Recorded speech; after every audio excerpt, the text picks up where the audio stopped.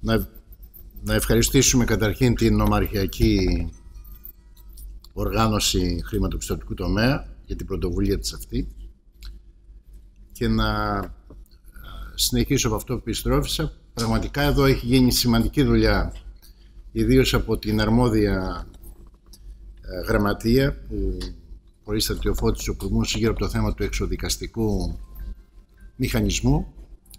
Ε, εγώ θα ήθελα να αρχίζοντας την εκδήλωση να αναφερθώ ο, λίγο στη σημασία που έχει αυτή η ρύθμιση που κάνουμε και μετά ε, στη συγκυρία όπως διαμορφώνεται μετά την τελευταία απόφαση του Eurogroup. Ε, επειδή ε, μιλάμε σε ένα ακροτήριο που ξέρει το πρόβλημα, περιορίζουμε απλώς σε δύο αριθμούς. Τα μη εξυπηρετούμενα δάνεια στην αρχή της κρίσης το 2008 ήταν 13 περίπου δισεκατομμύρια ευρώ. Το 2010 είχαν ήδη φτάσει στα 29 δισεκατομμύρια υπερδιπλασιασμό και το τέλος του 2014 είχαν φτάσει στα 78 δισεκατομμύρια ευρώ. Από το 2016 ε, έχει σταματήσει η αύξησή τους και έχουμε μία μικρή μείωση αλλά το βουνό αυτό των χρεών είναι τεράστιο πρωτοφανές σε περίοδο ειρήνης.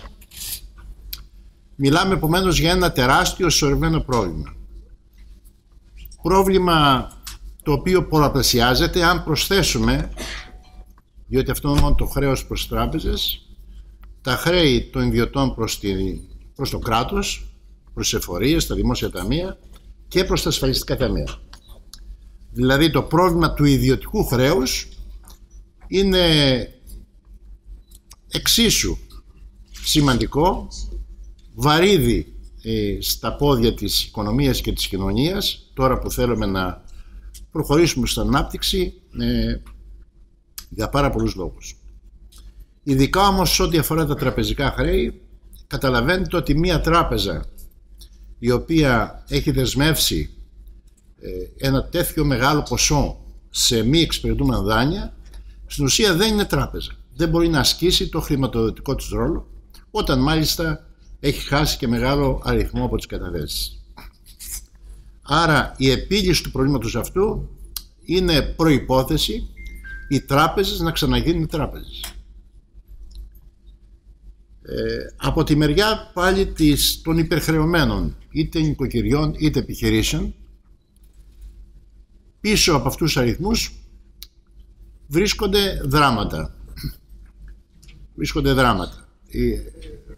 Και ακριβώς η επίλυση αυτού του προβλήματος είναι πολύ κρίσιμη διότι μπορεί να λειτουργήσει ως μηχανισμός απελευθέρωσης ανθρώπων αλλά και παραγωγικών δυνάμεων εφόσον αξιοποιηθεί σωστά ακριβώς ο νόμος και η ρύθμιση και ο μηχανισμός ο οποίος έχει στηθεί και ε, σύντομα θα λειτουργήσει.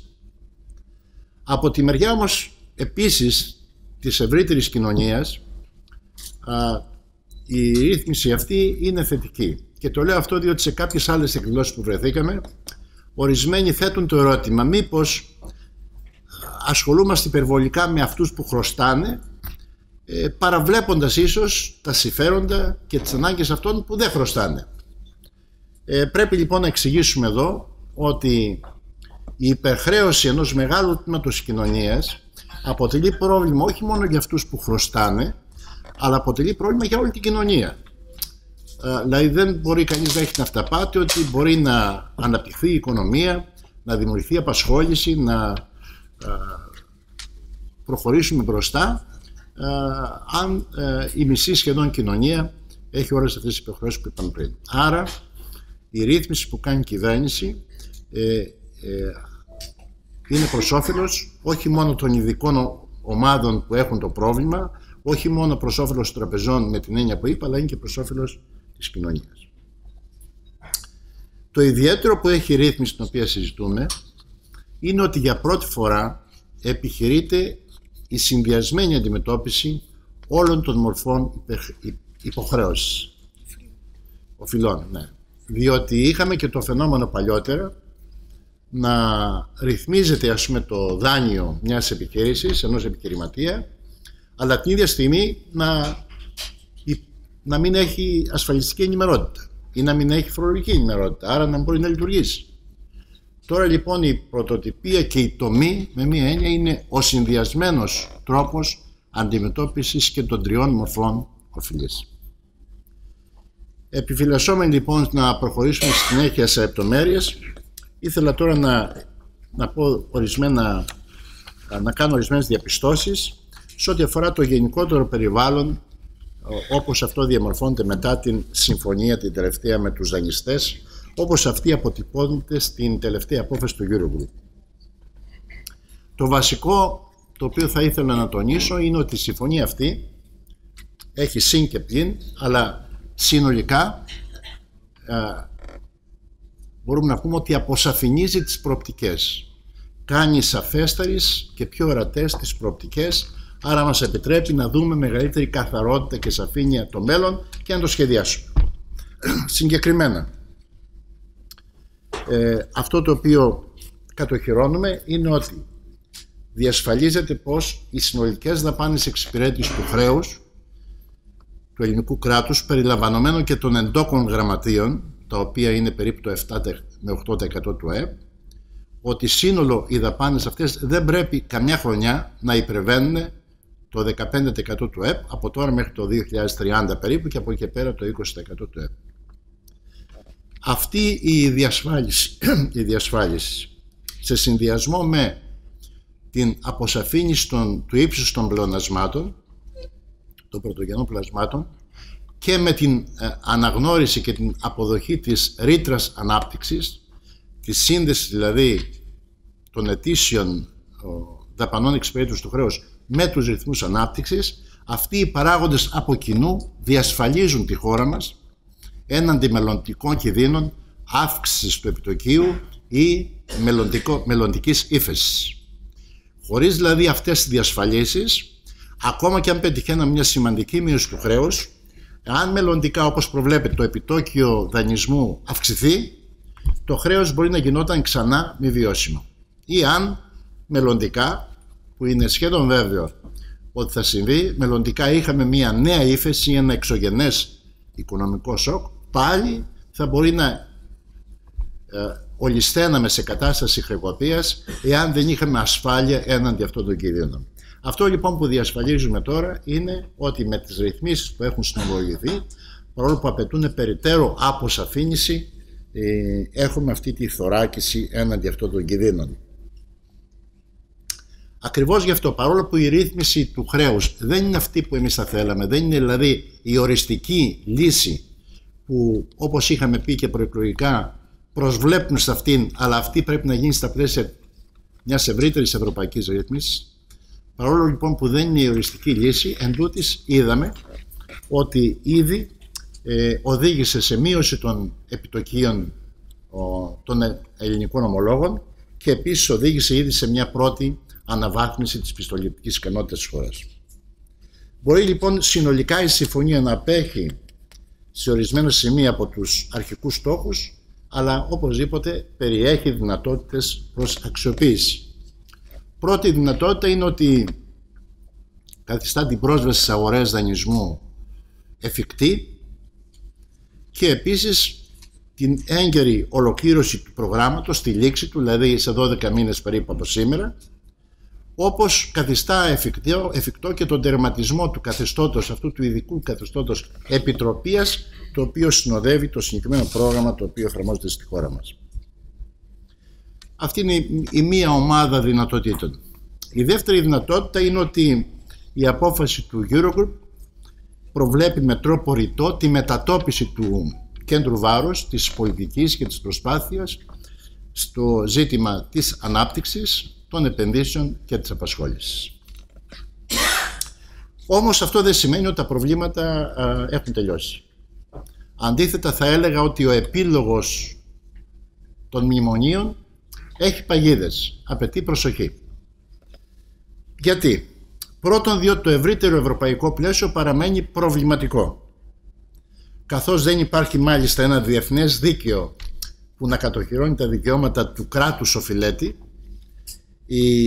ισχύει το δίκαιο, το δίκαιο του ισχυρότερου, του ισχυρού.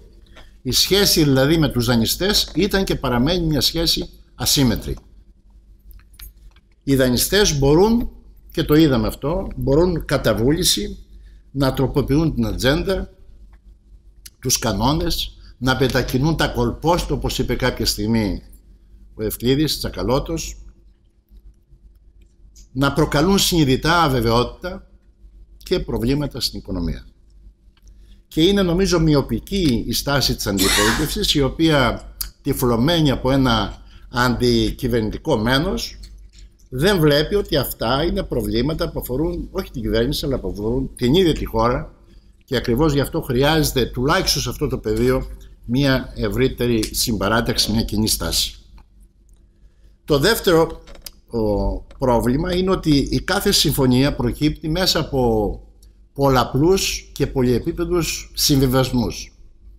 Συμβιβασμούς ανάμεσα σε εμάς και τους δανειστές, αλλά και συμβιβασμούς μεταξύ των δανειστών.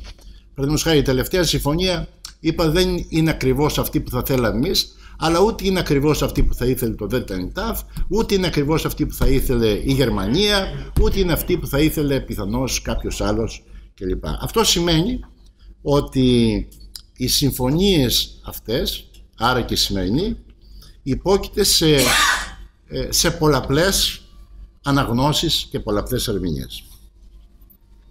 Το τρίτο είναι ότι, και δεν είναι, το τρίτο πρόβλημα και δεν είναι κρυφό, είναι ότι υπάρχουν δυνάμεις που θέλουν την ελληνική οικονομία σε μια κατάσταση διαρκούς καταστολής μέχρι να γίνει ανταγωνιστική όπως λένε αλλά με τον τρόπο που το εννοούν οι ίδιοι, δηλαδή με την διαρκή φτωχοποίηση της κοινωνίας, με τη διαρκή εκαθάριση της οικονομίας, εντός εισαγωγικών εκαθάριση, ε, από επιχειρήσεις και δραστηριότητες που δεν θεωρείται ανταγωνιστικές.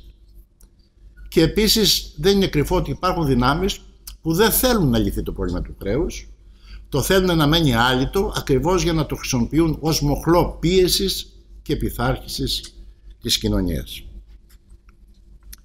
Η συμφωνία του Eurogroup συνιστά μια υποχώρηση των δυνάμεων αυτών. Διαφορετικά, αν επέμενες θέσει τους, δεν θα την είχαμε τη συμφωνία αυτή. Αλλά δεν συνιστά και οριστική ήττα τους. Κανείς δεν μπορεί δηλαδή να αποκλείσει μια μελλοντική συμμαχία κάποιων από τις δυνάμεις αυτές με εχώρια συμφέροντα με στόχο μια δεξιά, μια αντιδραστική παλινόρδωση. Μερικοί άλλωστε, όπως ο πρόεδρος του Ευρωπαϊκού Λαϊκού Κόμματος, ο κύριος Βέμπερ, το διαφημίζει κιόλας, το διατυμπανίζει κιόλας, δεν το κρύβει. Ε, υπό το πρίσμα λοιπόν αυτό, ε, αυτών ε, των παρατηρήσεων, οι δυνατότητες που περικλεί η τελευταία συμφωνία πρέπει να κατανοηθούν σε ένα παράθυρο ευκαιρίας. Που η αξιοποίησή τους δεν αφορά μόνο την κυβέρνηση, δεν αφορά μόνο το ΣΥΡΙΖΑ, αλλά αφορά όλες τις δυνάμεις οι οποίες δεν θέλουν ως μέλλον της χώρας μας να δουν μια συντηρητική παλινόρδωση ή μια επιστροφή στο πριν από την κρίση η καθεστώς. Η καλύτερη άμυνα επομένως και η καλύτερη προετοιμασία για το μέλλον είναι θα έλεγα η επιθετική αξιοποίηση των όποιων θετικών δυνατοτήτων περικλεί η νέα συμφωνία. Τι σημαίνει αυτό πρακτικά; Σημαίνει ε, μεταξύ των άλλων νέες ιεραρχήσεις και προτεραιότητες σημαίνει να αξιοποιήσουμε ως κυβέρνηση και ως πολιτικός χώρος την πείρα από την διακυβέρνηση ως τώρα. Είναι ένα πολύ ισχυρό όπλο αυτό, αν το αξιοποιήσουμε σωστά. Σημαίνει βελτίωση του σχεδιασμού, του συντονισμού και της αποτελεσματικότητας του κυβερνητικού έργου. Μεταξύ των προτεραιοτήτων λοιπόν στη νέα φάση ασφαλώς είναι ενδεικτικά θα αναφερθώ εδώ Ασφαλώς είναι η έγκαιρη ολοκλήρωση της τρίτης αξιολόγησης. Επίσης, καθώς ερχόμαστε, όπως είπα, στον επίλογο των μνημονίων, πρέπει να επιδιώξουμε, το δικαιούμαστε και πρέπει να το επιδιώξουμε, ε, να αποσαφινιστούν πλήρως όλες οι παράμετροι που αφορούν την οριστική έξοδο από τα μνημόνια και τη μετάβαση στην νέα εποχή. Πρέπει δηλαδή να απαιτήσουμε και να επιδιώξουμε αποσαφήνιση όλων των ασαφιών, όλων των κρίζων περιοχών, ούτως ώστε να ξέρουμε από εδώ και πέρα πώς ακριβώς θα εξελιχθεί η πορεία και για την έξοδο από τα μνημόνια, αλλά και για την μετά τα μνημόνια εποχή.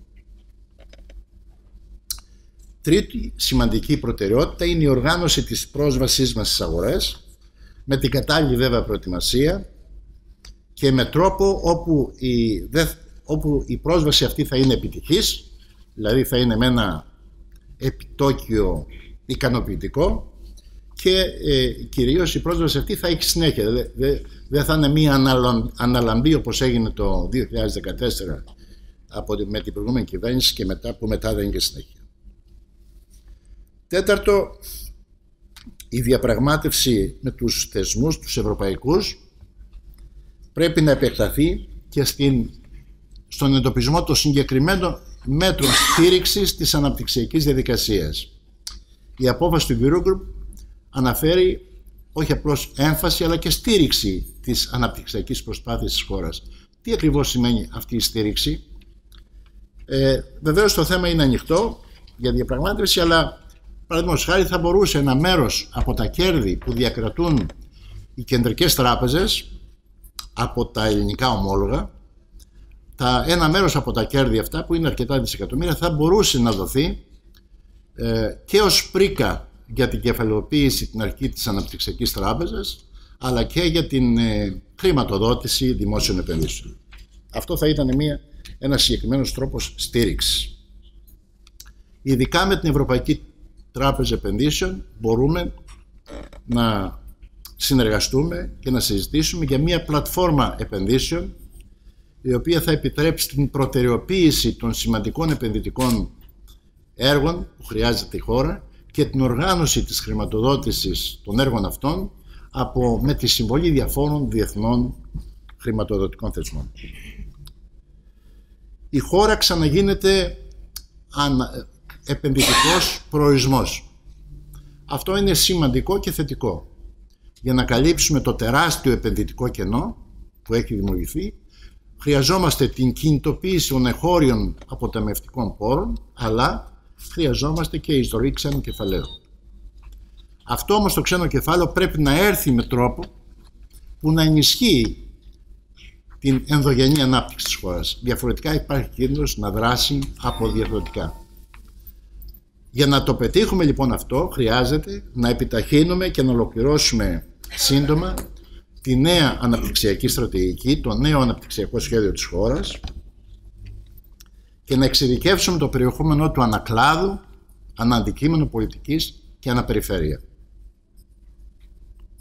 Επίσης πρέπει να επιταχύνουμε τις διαδικασίες, οι οποίες έχουν αρχίσει ήδη, για τη δημιουργία αυτών των παράλληλων θεσμών και δυνατοτήτων χρηματοδότησης, τις αναλλακτικές μορφές χρηματοδότησης, επενδυτικών δραστηριοτήτων των μικρομεσαίων επιχειρήσεων, αγροτικών εκμεταλλεύσεων, πρωτοβουλειών της κοινωνικής οικονομίας, το θεσμό των μικροπιστώσεων και άλλες τέτοιες δυνατότητες που ξεφεύγουν από τα όρια του παραδοσιακού τραπεζικού συστήματος. Επίσης, πρέπει νομίζω στη φάση αυτή να ανακτήσουμε την πρωτοβουλία για μια νέα γενιά μεταρρυθμίσεων και αλλαγών που θα προωθούν την κοινωνική δικαιοσύνη και θα μειώνουν τις ανισότητες. Δεν χρειάζεται να περιμένουμε τους δανειστές για να μας πούνε πόσο αργοπορεί, παραδείγματος χάρη, η απονομή δικαιοσύνης στη χώρα μας ή πόσο προβλήματα παρουσιάζει ακόμα η δημόσια διοίκηση. Δεν χρειάζεται να περιμένουμε τους έξω να μας πούν για την ανάγκη για αλλαγές που για την ανάγκη τους εμείς αγωνιζόμασταν ως πολιτικός χώρος ήδη και πριν από την κρίση. Για όλα αυτά πρέπει να δράσουμε πρωτοβουλιακά ανεξάρτητα από το τι ζητούν ή όχι οι ξένοι. Επίσης πρέπει, δεν πρέπει να περιμένουμε να λήξουν τα μνημόνια για να αρχίσουμε να οργανώνουμε την μετά τα μνημόνια εποχή. Πρέπει από τώρα να σχεδιάσουμε και να συγκροτήσουμε δημόσιες πολιτικές παντού και για όλα. Πολιτικές που να αποτυπώνουν τις αξίες και τις προτεραιότητες της δικής μας πολιτικής. Το κυβερνητικό πρόγραμμα με άλλα λόγια πρέπει να αντιστοιχηθεί τώρα στις ανάγκες αλλά και τις δυνατότητες της νέας φάσης διότι από αυτό ακριβώς θα κρυθούμε. Τέλος, σε συνθήκες συνδικαλιστικής και πολιτικής κρίσης εκπροσώπησης είναι ανάγκη να αξιοποιήσουμε κάθε πρόσφορο μέσο για την ανάπτυξη του κοινωνικού διαλόγου, την ενθάρρυνση της συλλογικής οργάνωσης και δράσης και την ένταξη με δύο λόγια της κοινωνίας στο αναπτυξιακό, στο σχεδιασμό και στην υλοποίηση της ανάπτυξης. Για μας ίσχυε και εξακολουθεί να ισχύει ότι η ανάπτυξη δεν μπορεί να γίνει χωρίς την κοινωνία όχι μόνο όρθια αλλά και ενεργή και συμμετοχή. Χωρίς να υποκαθιστούν παραδοσιακούς συνδικαλιστικούς και άλλους θεσμούς που πρέπει να βρούμε τρόπο και να συμβάλλουμε στην αναζωογόνησή τους, πρωτοβουλίες πάντως κοινωνικής οικονομίας, δομές αλληλεγγύης, ενεργειακές κοινότητες που νομοθετούμε τις επόμενες εβδομάδες, μικροπιστώσεις, ομάδες παραγωγών, πρωτοβάθμιοι συνεταιρισμοί, ακόμη και άτυπες συλλογικές ομάδες, όλες αυτές οι μορφές μπορούν να λειτουργήσουν ως θεσμοί ανασυγκρότησης των κοινωνικών σχέσεων με όρους κοινότητας, με όρους ε, αλληλεγγύης και αντίστασης στις αποσυνθετικές τάσεις του νεοφιλεύθερου καπιταλισμού της εποχής μας. Με αυτές λοιπόν τις σκέψεις και με αυτό το έτσι, φάσμα προτεραιοτήτων που μπορεί βεβαίως να διευρεθεί θα ήθελα να σταματήσω διότι μία ακριβώς από τις προτεραιότητες επίσης του περίοδου είναι όπως είπα στην αρχή η σωστή ε, εφαρμογή και η επιτυχής εφαρμογή του εξοδικαστικού μηχανισμού. Σε ευχαριστώ.